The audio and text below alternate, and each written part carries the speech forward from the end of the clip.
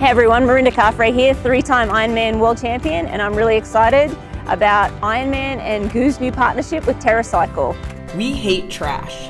That's why we are thrilled to partner with TerraCycle and Ironman to say no to the landfill and yes to upcycling.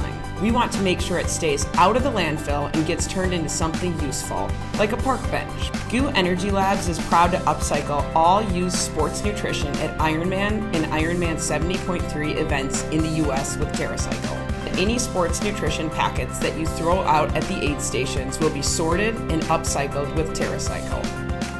Basically, any nutrition, it doesn't have to be GU, you can recycle. So all you need to do is go online and print out a free uh, shipping label and put it in any packaging and you can upcycle your sports nutrition.